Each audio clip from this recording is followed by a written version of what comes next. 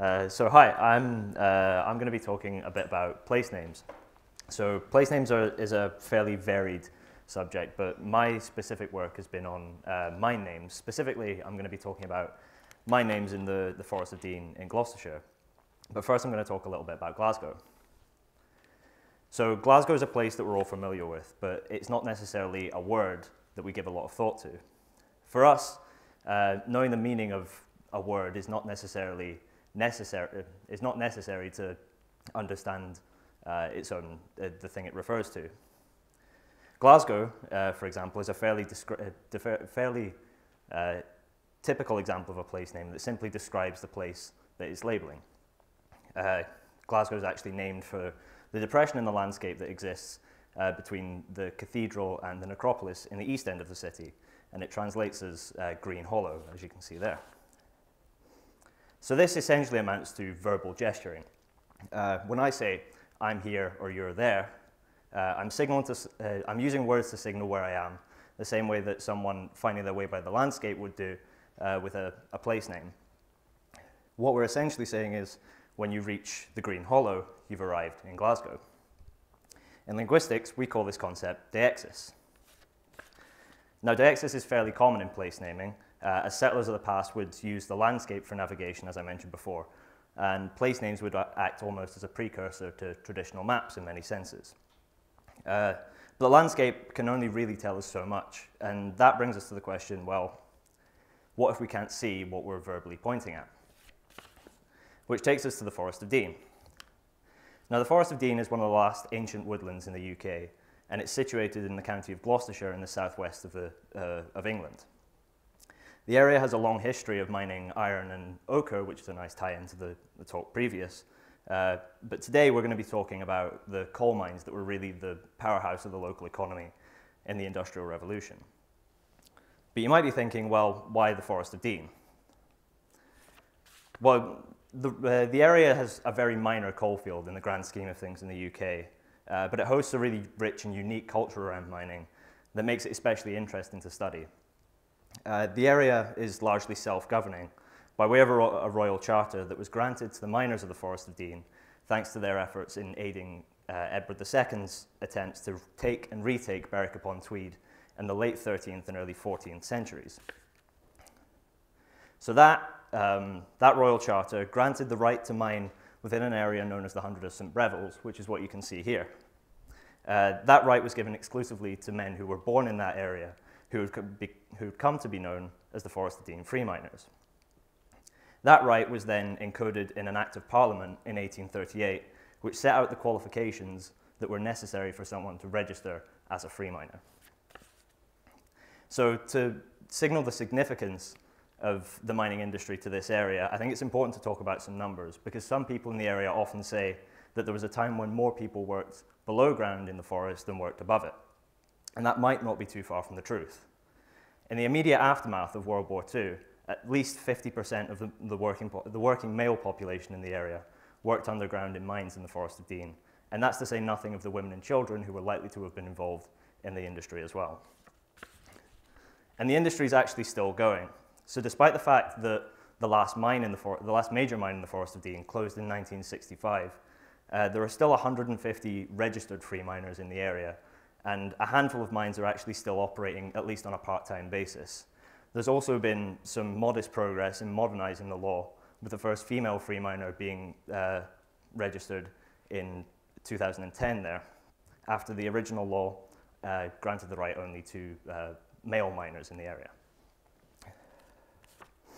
All of this is essentially to say that despite the massive decline in coal as a, a usable energy source, the mining industry still holds a lot of local importance beyond just simple post-industrial tourism.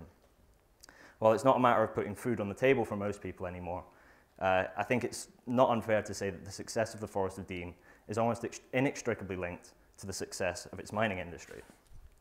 And that brings us back to names. Now, my survey uh, looked to record uh, mine names in the Forest of Dean that began being recorded around about the, the beginning of the Industrial Revolution. And they, they kept being recorded throughout that period up until the beginning of the First World War. This resulted in a collection of over 400 names, uh, which mostly came from archived maps, like, what you, like the one you can see here, uh, but also came from some registry documents and also uh, interviews with local industry professionals, which were really helpful in uh, providing some context on the names that I was, uh, that I was researching. Now, the first type of name I'm going to talk about is something close to the settlement names we were talking about earlier. Ellwood Colliery, for example, works in almost an identical way to Glasgow, essentially saying when you arrive at the colliery, colliery in the village of Ellwood, you've arrived at Ellwood Colliery. Uh, there are also some more metaphoric examples of names. For example, four brothers, three brothers, and two brothers there uh, are all examples which point to landmarks, in this case, uh, a series of oak trees that sit at the entrance to those particular mines. But again, what do we, uh, what do, we do when you're naming something that we can't actually see? Uh, for a miner, this is vitally important in some cases because names can convey information as to the profitability of a mine, but also to the working condition and safety that would be found from working in there. And all of this can be done with a name without picking up a shovel. And this is another sort of name that I found in my data. So in terms of uh, some uh, visual examples there, names like Hopewell, Winning, and Success all relay information as to the economic success, the economic reward, sorry, that can be found from working in those particular mines. And those three certainly don't make up a definitive list.